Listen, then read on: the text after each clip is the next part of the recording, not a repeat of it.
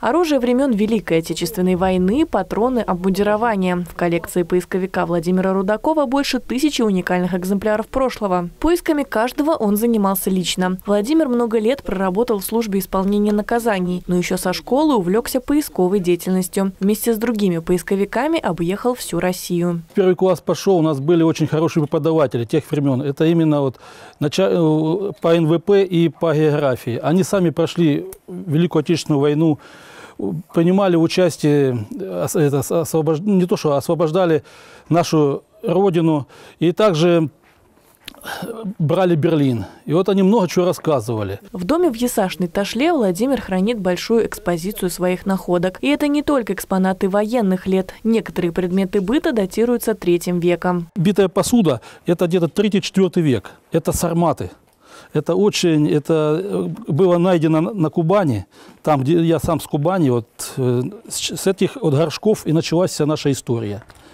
Рядом с горшками и военная атрибутика Древней Руси IX века – шлем, кольчуга и меч. Главной своей находкой поисковик считает уникальную пряжку «Рыжий таракан», датируемый VII веком. Находка была найдена в деревне Кивать. Вот ни у кого в Ульяновской области, даже в музеях такой пряжки нет. Она из кожаная сумка была, и на, на этой кожаной сумке должно было две этих пряжки. Ну вот я только одну нашел, вторая, может, где-то рядом лежит. Ну, факт то, что эти, она, как она символизировала рыжий таракан, символ богатства.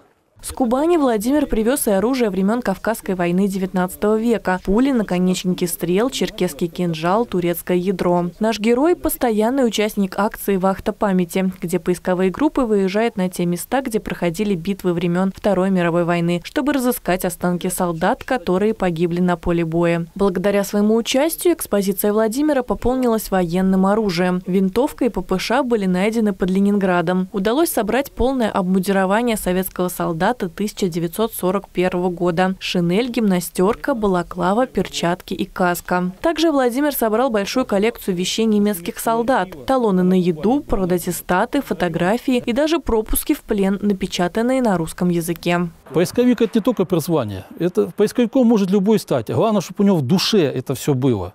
Именно вот за свою родину, за свой там, народ. Вот. Потому что, как говорится, пока последний солдат не найден, война у нас не закончена.